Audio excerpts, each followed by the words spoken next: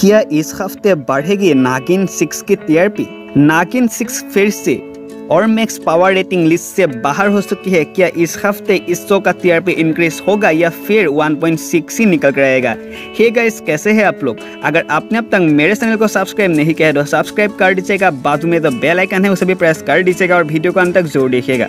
तो आइए वीडियो को शुरू करते हैं। नागिन सीज़न सिक्स ऑडियंस को काफ़ी ज़्यादा पसंद आ रहा है, लेकिन इस शो की टी उम्मीद से बहुत ही ज़्यादा कम निकल आई है। जहाँ पर कुछ समय पहले इस शो में आदा खान यानी कालीनागिन शेषा की भी एंट्री कराया गया है, उसके बाद भी इस शो का टीआरपी उम्मीद से बहुत ही ज़्यादा कम निकल कर आ रहा है। जहाँ पर फ्यू वीक से इस शो का टीआरपी सिर्फ़ 1.6 ही निकल कर आ रहा है। ऑनलाइन टीआरपी में भी इस शो को बहुत ही ज़्यादा लॉस हुआ है और ये शो बहुत ही ज़्यादा नीचे आ चुका है।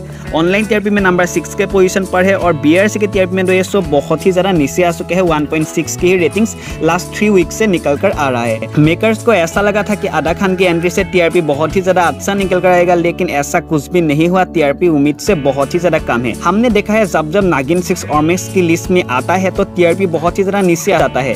लेकिन फ्यू वीक से ये शो ऑर्मेक्स की रेटिंग से भी बाहर है, उसके बाद भी इस शो का टीआरपी इंक्रीज नहीं हुआ है।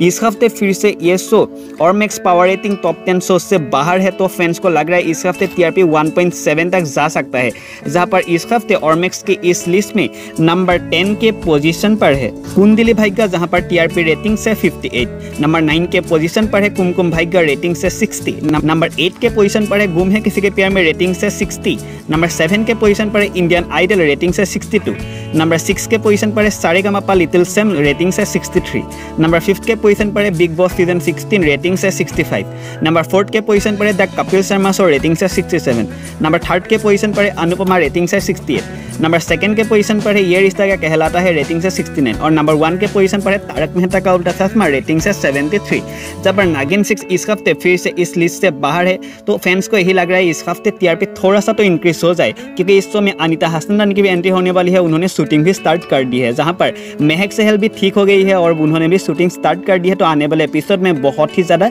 हाई वोल्टेज ड्रामा होने वाला है।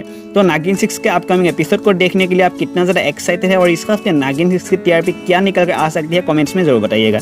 अगर वीडियो देखने में अच्छा लगा, चैनल को ज़रूर सब्सक्राइब करिएगा ऐसे ही नए अपडेट्स के लिए देखते रहिए एंटरटेनमेंट की बात।